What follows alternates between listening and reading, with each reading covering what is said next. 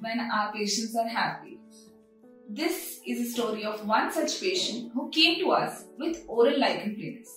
She was suffering for a very long time because of wrong dentures and wrong treatments and lack of awareness. She came to us and hear from her mouth how was her experience. How are you feeling?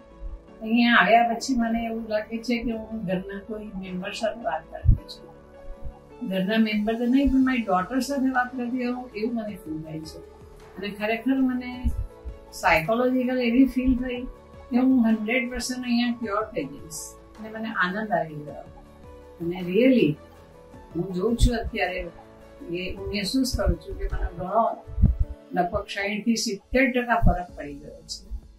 અને જે મારા મનમાં tension હતું, કે આ ક્યારે solve થશે શું થશે એની હવે મને દહેશત નથી કોમ્પ્લિકેશનની કૃપા રહેલી